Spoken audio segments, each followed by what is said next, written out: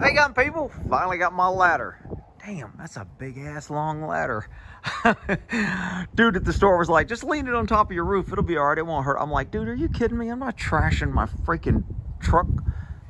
He's like, well, I don't think you should lean it out that far. So, what the hell? I strapped it down as best I could. Put a strap here, pretty stinking tight. Put a strap through there, wrapped it around, and uh, had my little red ribbon. that is pretty long.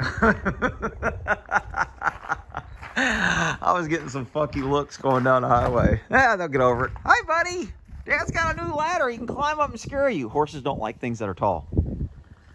I know. Dad's going to get to scare you with his new ladder. So hopefully I can get up there as soon as we get some good weather and see what the hell I got going on. And uh, without falling off. Now's the chore to get that sucker out. That's a heavy ass ladder, man. I don't know how much that sucker weighs, but there was three of us putting it in. And I was like, damn, that's gonna be tough me getting it out. All right, we'll see how this goes. Hey gun people. Well, my ladder came in. I got a, uh, I'll slide in a picture of the ladder when I was bringing it home in a truck. I know I had some firemen out there that were jealous and shit. They like, I want this big ladder in my truck. Why does he get to have a big ladder? We need to get a big ladder. Our ladder's bigger than yours, whatever. All kind of fireman ladder envy when I was driving home. So this is a 32 foot ladder and I've got it posted up top there. And let me tell you, that's a little higher when you get up there. my boys kind of shriveled up when I got up there. I went, damn. You know, I don't mind jumping out of something when I'm secure and I know my equipment, but the first time I went up this ladder, it bows and bends, and you'll be able to see that. Let me move back. You'll be able to see that when I'm going up there. It kind of, uh, kind of like bows in the middle a little bit, and I'm like, damn, is this ladder gonna hold me? It says it's good for 300 pounds, but I'm just kind of like, so let me get a couple tips out of the way that on what I did so far. So I put the golf cart here so the ladder can't slide out and I come tumbling down. So the golf cart will stop it. Also the little flat prongs that they're on the bottom of the ladder and normally on a flat surface they sit like this. But if you turn them like this, they dig into the ground and they stop that creep. So I did that, but I still wasn't secure enough because that letter bows a lot. That's why I put the golf cart here. Then, because the damn thing's so tall and it's not real level, the ladder was going like this really easy when I was putting it up there. So I tied this with a trucker's hitch right here on this pole, and then I put on that pole. Now, these two things aren't probably the best. I was thinking about pulling my truck over here and tying it to the back of the truck, but it rained yesterday and the ground's all wet, so I didn't want to do that. So instead, I just, uh, I tied it to where I tie the horses off. Hell, they can pull on and exert all kind of force. They ain't pulled that off yet, so uh, I got like a little clove hitch slip over there. I put a trucker's hit here to tighten it up, and then I had the ratchet on the other side and click that. Now that wood piece that's holding up the frame there is probably my weak point in a link because if it started falling toward me, it would probably just pull that pole out.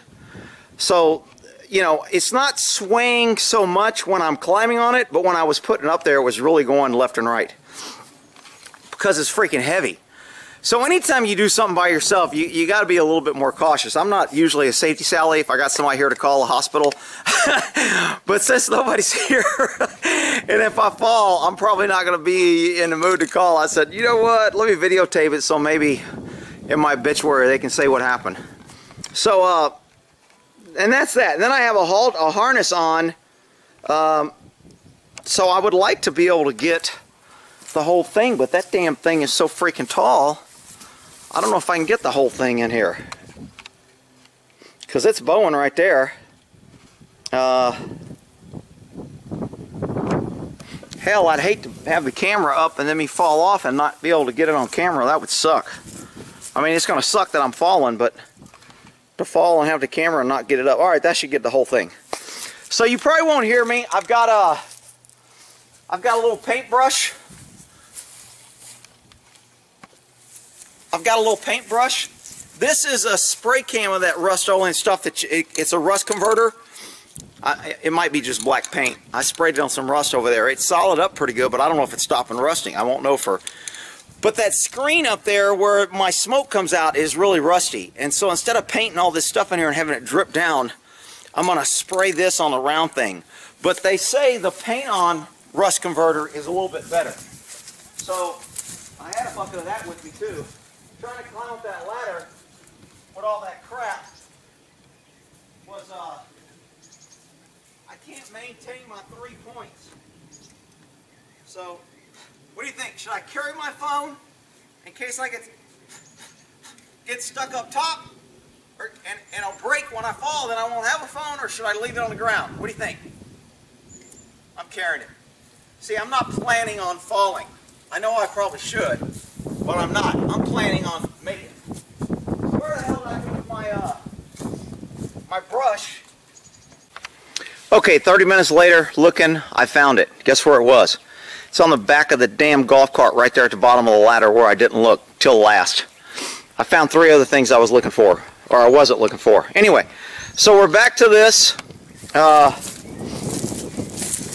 heading up to the roof. I was going to show you this rust remover.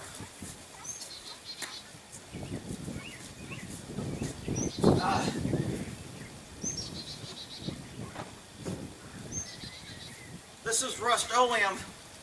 Instantly converts rust to a protected paintable surface. I think it says if you're going to use spray paint, wait four hours. If you're going to use oil-based paint, you can do it in 30 minutes or something. I read it on the back, but I'm going to put this up there. I may not paint it for, you know, I'm going to wait a good few hours. Anyway, it's just white clear. It says to put it in a bowl and then take a brush and do it. I'm bringing this up, I'm pouring it, and I'm painting it as I'm pouring it so I don't have to do the bowl. Because climbing up there, I want to maintain my three-point uh, climbing. When you're climbing a ladder, you want to make three points of contact. So I want to have one hand and two feet and only have one hand moving, or two hands and have one foot moving. So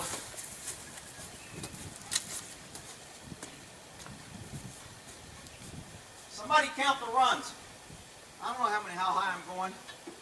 So I'm on run number two, three, four, five, six. So I don't want to be moving feet and hand because now I only have two points. Ideally, and as I get farther, you're going to see this thing bow. I want two hands, one foot. Two hands, one foot. And I'll do that as I get closer because it makes these shrink in as I get higher. Holy shit. But you see, this bowing right here just freaks me out. Again, I don't, I haven't seen this ladder tested. I haven't had my points tested, so I don't know. Hey, I can see my house from here. So, woo, doggies. I had tennis shoes on at first, and I noticed that was kind of a slippery, so I put something with a heel. I already forgot to count. Damn, this is hot. Well, I forgot to tell you, I had my, I've got my harness on just to kind of clip in at the top here in case I slip. I'll have, I don't even know if it'll hold me. I think if I slip and fall, my weight will pull me over anyway.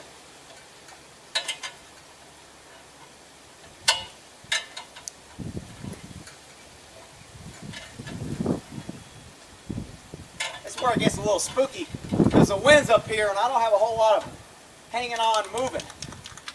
Probably should have shook this downstairs. Way's the wind going? Probably right in my damn face so I can't spray paint this. Eh, kind of that way maybe. Shit, I should have brought something up there to throw. My paintbrush.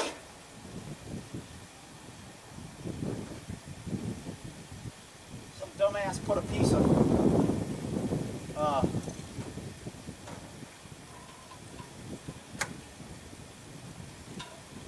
my bucket. I was wait. I know a couple of you guys were like, watch him drop some. Yeah, I know. I know how you guys are. Freaking get me up here trying to kill myself. All right. So taking lids off and pouring and painting. I'm to put that lid back in my pocket because I don't want that coming out. Oh, that shit's pretty thick. Wow. Man, that's really thick.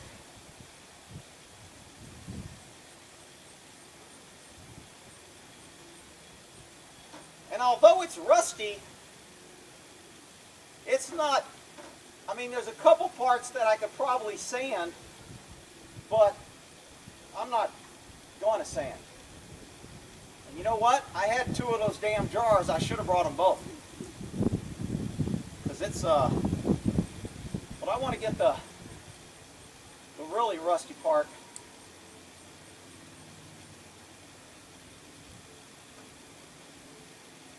And this is very white. Not to be racist, the stuff is white. So, oh shit, you know what? I forgot to clip in. See, that's why I needed a second safety guy here reminding me to clip in. Because I'm probably going to forget to clip out. See, if I fall off clipping in, I'll be able to blame all the safety sallies. All right, so I'm flipped in. Man, I hate going up another run, but I think I got to. And I got nothing to hang on to. So this really puts my center of gravity high. And I'm reaching around the back here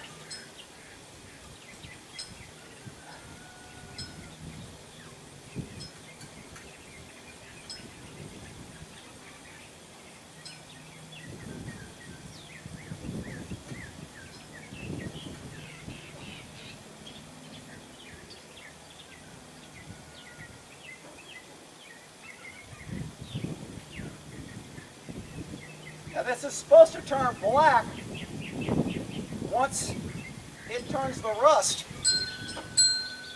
to uh Oh shit, I meant to call my buddy and tell him to call me in 15 minutes in case I fail. Shit, blew that plan.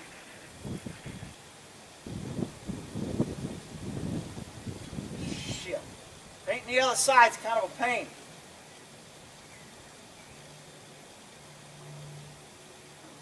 See this reaching over across my body is not good. I should be switching hands and staying center.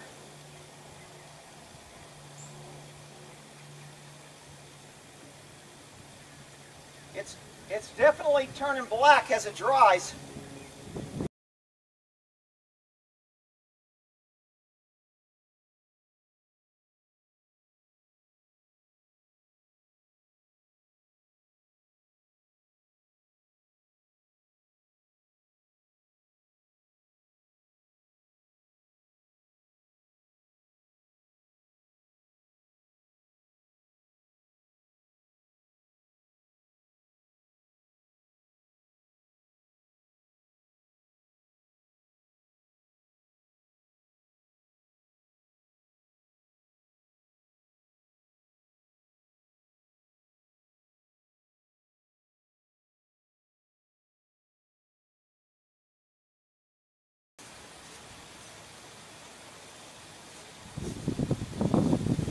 Since I have a little bit left, I'm going to go ahead and paint this thing with the rest of this. Shit, this color. Dude, why are you hanging up on me? Freaking trying to get me killed. I'm still up on the ladder. Did you hear what I said?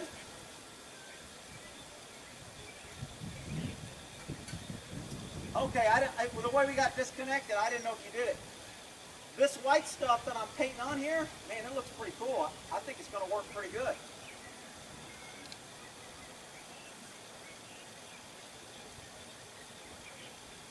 Rust-Oleum Rust Reformer. And as I'm painting it, man, it's like drying and it turns like a like a smooth metal with no rust. It's pretty freaking amazing.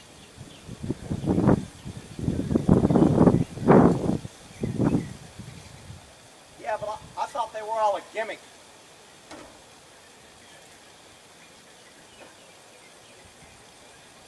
Wow.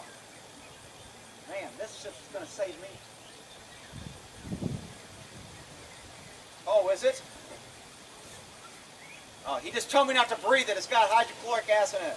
That's a good tip when I'm almost finished. I'm out in the open, though, so it's not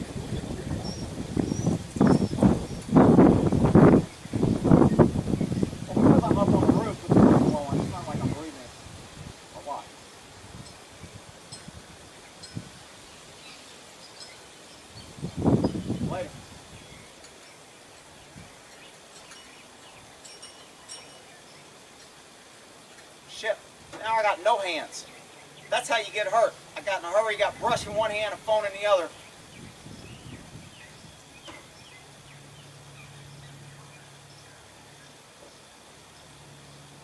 Again, I don't like this leaning.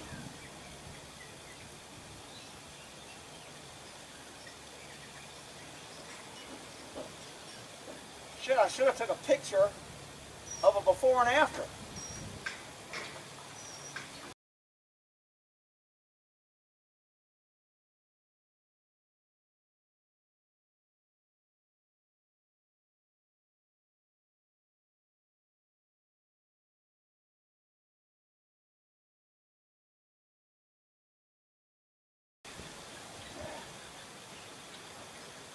Guys are hearing anything.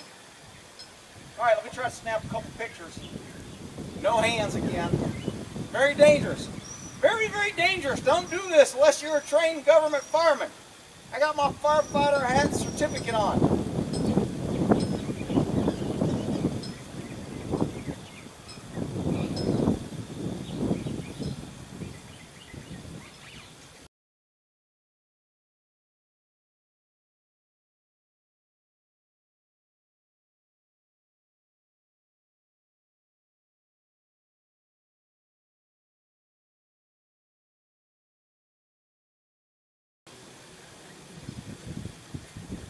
I'm on top of the world. Till I fall. Oh shit, I don't want to lay that down. Hang on. I'm all turned around. Alright, I got one hand back around. So I just have a little bit more in there. I'm going to go ahead and finish painting this.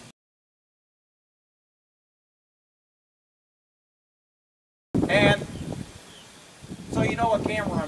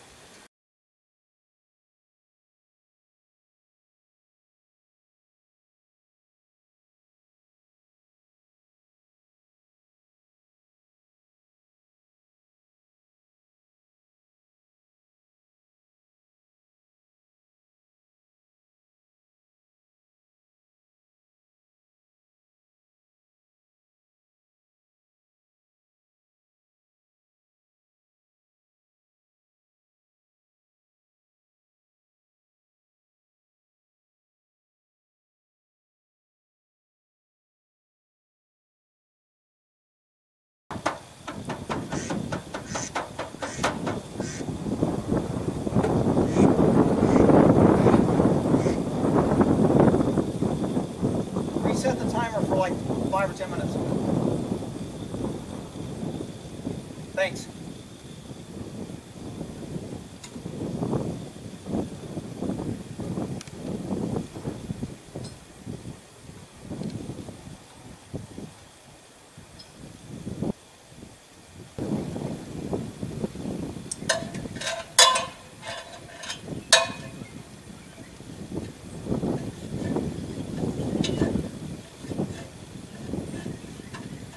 Oh shit. This damn boat.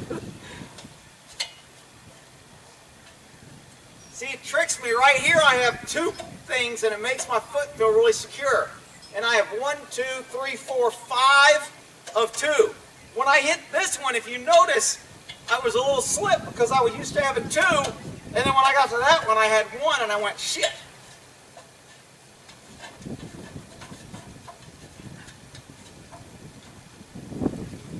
Ugh. Yeehaw! Damn firehouse chimney and sweep out of Denton You guys go to their little Google, Firehouse Chimney and Sweep. Tell them they're up there trying to get me killed because they can't return a damn phone call. Anyway, I'll leave the ladder up, let that dry, read, I got another bottle of that inside. I'll read the instructions. Hopefully the wind dies down. My face probably looks all black, man. It was blowing right in my face. All that shit. So, uh, and we'll go ahead and end that there. It's kind of what it's looking like now. After that dries, I'll, I'll paint it. See how it holds up.